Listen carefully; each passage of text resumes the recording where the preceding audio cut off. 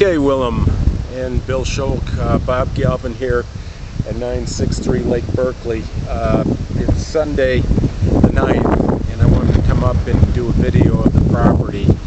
Uh, Bill, hopefully you can send this in to the underwriter. Don't know if it make a difference, but it's pertinent uh, property.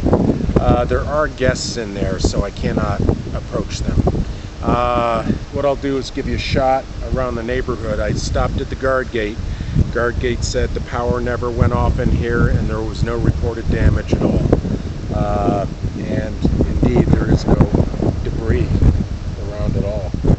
Uh, and down by my house in southern Kissimmee, it was a non-event.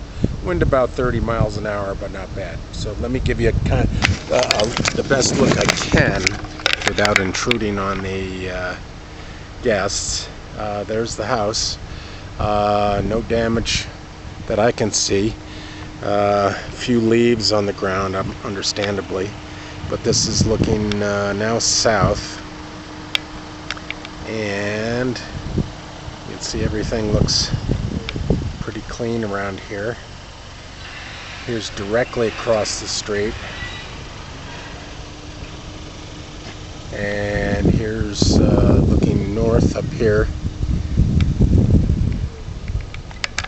Hello!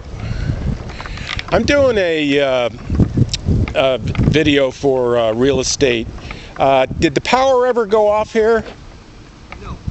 Did not. Okay. No, didn't go off. All right. Thanks so much. Next door neighbor. Okay.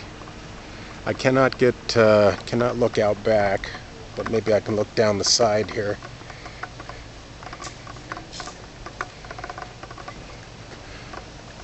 From what I can see on the side, there is no tears in the screen there.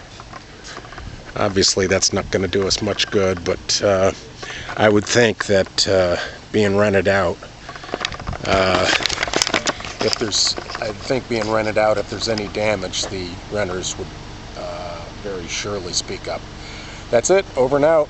Uh, don't know if it do any good to the underwriters, but uh, neighborhood looks good and clean. Over out.